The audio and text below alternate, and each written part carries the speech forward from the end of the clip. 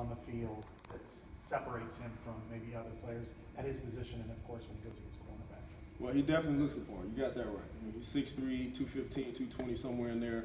Um, one of the most explosive, obviously, if you talk to Coach Doyle, he's one of the most explosive guys on the team, uh, not just the receiver position, but the whole team. So he has all the intangibles. Like I talk about speed and size, those two things you can't coach, and he has both of those.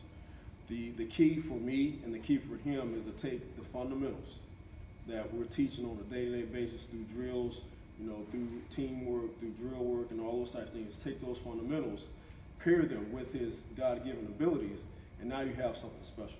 So once again, he is showing, you know, huge strides. Every day he just does something, you know, at least once a day, most times two, three times a day where it's like, okay, that's what that's what I'm hoping to see. That's what we're thinking when we recruited you, all those type of things, and now it's showing up. So once we get him, you know, to trust his fundamentals, use his size, use his speed, his strength, all of his God-given abilities on a play-by-play basis every day, day in and day out, he's going to be a force to be reckoned with. There's no question.